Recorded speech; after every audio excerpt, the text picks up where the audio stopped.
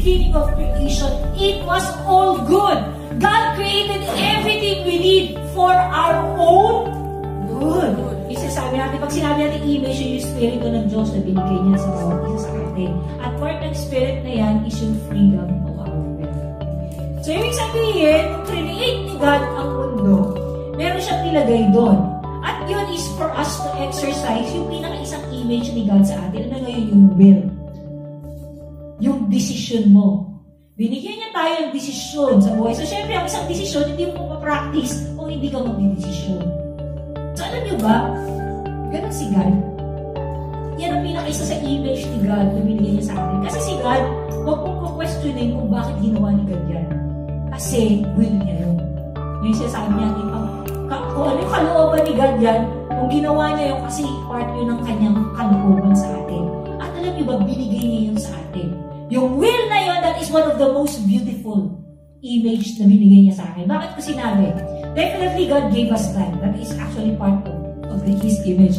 Pero, ang pinaka, pinaka bottom line ng, ng life na binigay niya sa iyo, yung sinabi, yung buhay mo ay nandoon sa will mo. Sa, sa yung, sa yung mga desisyon sa buhay. Ibig sabihin, yung will na yan, pwedeng lalong mapaganda yung buhay mo.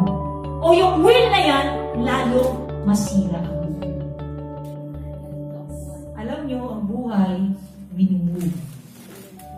Mag-move. Mag-move.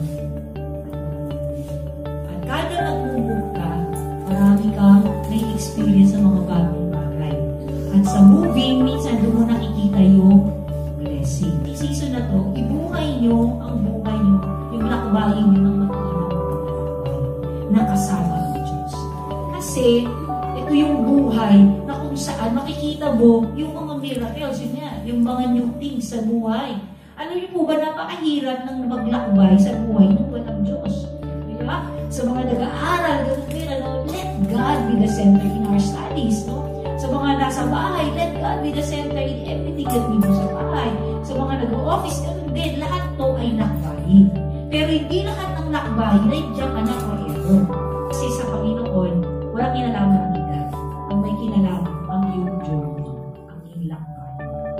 Sa iyong bang 20s, mga 20s to 30s, ano bang lakbay? Nasa 20s to 30s. Ininam, maganda ba yung lakbay na yan? Yung 30s to 40s, ano yung lakbay? Gawin natin decade to decade. Sabi decade to decade, 10 years, 10 years. And then from 40s to 50s, ano yung lakbay?